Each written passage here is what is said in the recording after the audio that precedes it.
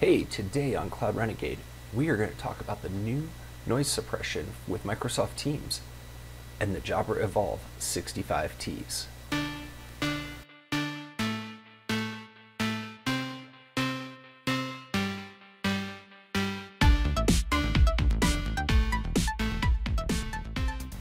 So Microsoft announced that they were going to bring background noise suppression into Microsoft Teams.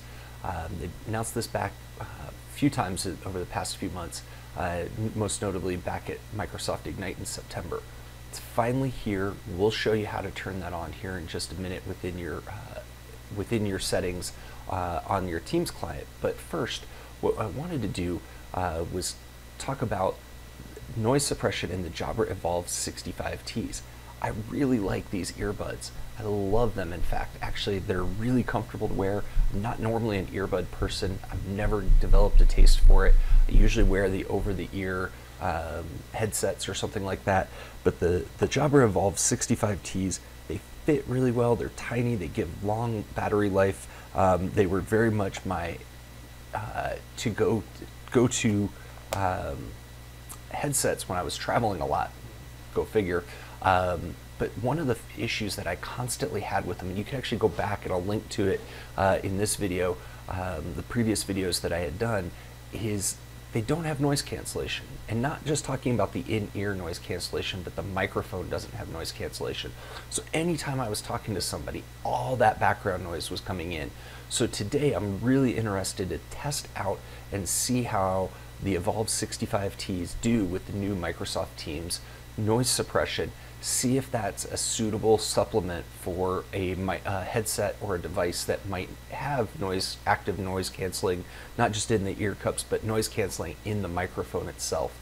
Um, something to note here before we get started um, the noise suppression does require AVX2 on your CPU so that's a newer CPU technology uh, it's been within the last few years a good way to tell if you have it is if you can do background blur uh, or the background images, you most likely have it. I'm not saying that's absolute because I actually have a machine that does not have AVX2 um, and I can do background blurs and stuff like that. Uh, but I know at one point in time the background blur and, and uh, the background images was an AVX2 CPU requirement. Um, but the, the noise suppression is an AVX2 CPU requirement. The other thing that I have noticed in just doing some simple testing up front, and we'll get to the demos here in a second, is that when I use my Surface Laptop 3 with the Jabra Evolves and I have the noise suppression turned up to high, um, I can see that the CPU is working harder and I do hear some audio clipping and things like that. You'll see that here in just a minute. Um, but we're going to get into this now and show you some demos of the Jabra Evolve 65Ts. Now, also really quickly, these are the Evolve 65Ts. They come with a Bluetooth dongle uh, which makes them team certified. These are not the elites. The elites are not team certified because they don't come with a Bluetooth dongle. Uh, so just a quick note on that. Okay, here's our first test. Um, right now, out of all the three settings, we have auto, high, low, and then off. So technically four settings. I've got the headphones set to uh, the auto setting, and we are going to just bring up some music um, and turn that on, and we'll just let it go in the background and let folks uh, see how they how how it sounds in the background from that standpoint. I usually like to try to turn this up so that right now the music's sitting at about 35, 40 decibels in the background. I'm going to turn it up and let it get up a little bit higher. Um, this is actually to the point where it's way distracting. So um, very hard to, to focus uh, if I had something. So this would be way more than what you would have in the background at like say Starbucks or anything like that. But it's a good way to see what might be coming through. Okay, back for test two. Right now I've uh, increased the noise cancellation um, and noise suppression, I guess is really what we're calling it, um, up to the high level. So we're gonna turn that music back on and it's same level, didn't didn't adjust it from uh, previous. So let's get after it and let it play back in and see how well this works um, for canceling out the very loud music at this point, uh, sitting probably about 45, 50 decibels. Um, kind of went up from the previous video from 35, 40, 45, 50. So almost doubling the volume at this point. Okay, we're back this time with the noise suppression setting set to low. Um, we're going to try this and put the music back on, uh, let it go for a little bit. Um, see, you should be getting some of that background music. Interesting is just kind of see and hear what's going on in the background um, as as we do these recordings and to see how much comes through uh, for the music. So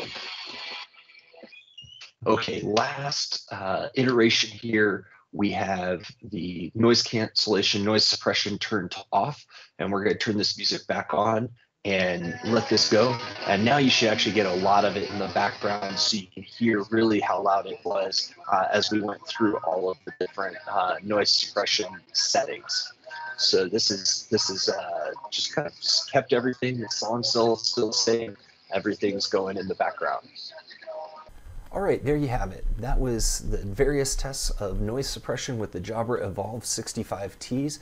Uh, just a couple of things to note about that, and you might have seen and heard in the background um, that you can tell that it takes some CPU power, definitely. I've got the, I tested these today on the brand new AMD Ryzen uh, series CPU, six cores. I got 32 gigs of RAM in this machine, and even I was getting some of that choppiness. Now it's interesting because I don't see the same thing when I utilize these with my Surface Laptop 3 or with my mobile devices, but these are the devices that I have, so your mileage may vary on that.